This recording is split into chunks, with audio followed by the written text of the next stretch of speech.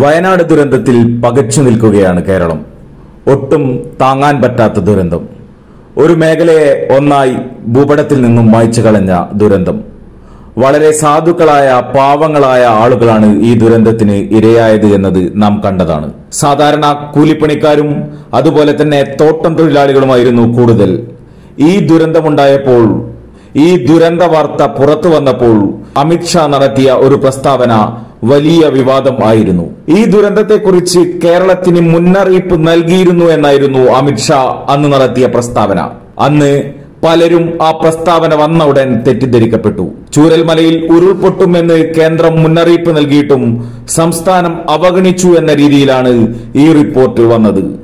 എന്നാൽ ഇതിന് സ്ഥിരീകരണം നൽകി സംസ്ഥാന സർക്കാർ രംഗത്ത് വന്നിരുന്നു. ദുരന്തം നടന്ന് മണിക്കൂറുകൾ കഴിഞ്ഞാണ് പ്രദേശത്ത് റെഡ് അലർട്ട് പ്രഖ്യാപിച്ച കേന്ദ്ര മുന്നറിയിപ്പ് വന്നത് എന്ന് സംസ്ഥാനം ഔദ്യോഗികമായി അറിയിച്ചു. മുഖ്യമന്ത്രി ഇത് സ്ഥിരീകരിക്കുകയും ചെയ്തു. പക്ഷേ അപ്പോഴും ഉയർന്നു വന്ന ഒരു സംശയം എന്തിന് അമിത്ഷാ അത്തരം ഒരു പ്രസ്താവന നടത്തി എന്നതായിരുന്നു. അതിന്റെ ഗൂഢലക്ഷ്യം ഇതാ ഇപ്പോൾ പുറത്തു വന്നിരിക്കുകയാണ്. ആ പ്രസ്താവനയ്ക്ക് പിന്നിൽ ഗൂഢാലോചന നടന്നിട്ടുണ്ടോ എന്ന് വളരെ സംശയമുളവാക്കുന്ന രീതിയിലേക്കാണ് ഇപ്പോൾ കാര്യങ്ങൾ മുന്നോട്ടു പോകുന്നത്. വയനാട് ദുരന്തത്തെ ദേശീയ ദുരന്തമായി പ്രഖ്യാപിക്കണമെന്ന ആവശ്യം ഇപ്പോൾ ശക്തമാണ്. സംസ്ഥാനം ഈ ആവശ്യം ഉന്നയിച്ചു. അതിലും ശക്തമായി ലോക്സഭാ പ്രതിപക്ഷ നേതാവ് രാഹുൽ ഗാന്ധിയും ഈ ആവശ്യം ഉന്നയിച്ച് രംഗത്ത് വന്നിരിക്കുകയാണ്.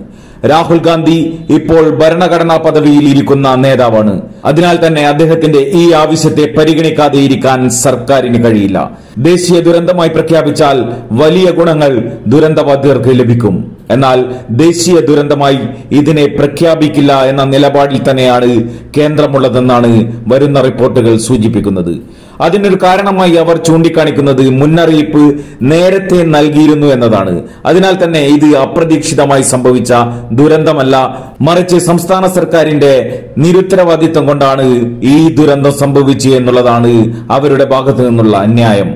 ഇതിനെയാണ് അമിത്ഷായുടെ വാക്കുകളുമായി കൂട്ടിച്ചേർത്ത് വായിക്കേണ്ടത്. ദുരന്തമുണ്ടായി മണിക്കൂറുകൾക്കുള്ളിൽ മുന്നറിയിപ്പ് നൽകിയിരുന്നു എന്ന് അമിത്ഷാ ഒരു മുഴം മുൻപേ ഒരു വലിയ കള്ളം എറിഞ്ഞത് ദേശീയ ദുരന്തമായി പ്രഖ്യാപിക്കാനുള്ള ആവശ്യം മുന്നിൽ കണ്ടുകൊണ്ടാണോ?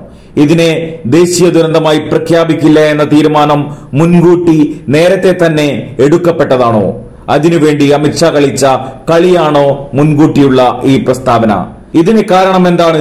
രാഹുൽ ഗാന്ധി വിജയിച്ച മണ്ഡലമായതാണോ? അതിന് മറുപടി പറയേണ്ടത് ബി ജെ പി നേതാക്കളാണ്. കേരളത്തിലെ ബി ജെ പി നേതാക്കളിൽ നിന്നും ഇതിനുള്ള മറുപടി ഉണ്ടാകുമെന്നത് കൃത്യമായും പ്രതീക്ഷിക്കുകയാണ് കേരളത്തിലെ ജനങ്ങൾ. ആദ്യം മുതൽ തന്നെ സുരേഷ് ഗോപിയുടെ അനാസ്ഥ നാം ഒക്കെ കണ്ടതാണ്. ആറാം ദിവസമാണ് കേന്ദ്രമന്ത്രി എത്തിയത്. ഇതിൽ നിന്നൊക്കെ പല സംശയങ്ങളും കേരളത്തിലെ ജനങ്ങൾക്കിടയിൽ ഉയരുന്നുണ്ട്. ഉത്തരം നൽകിയില്ലെങ്കിൽ ബി ജെ പിക്ക് അതിനുള്ള മറുപടി കേരളത്തിലെ ജനങ്ങൾ നൽകുമെന്ന കാര്യത്തിൽ യാതൊരു സംശയവുമില്ല.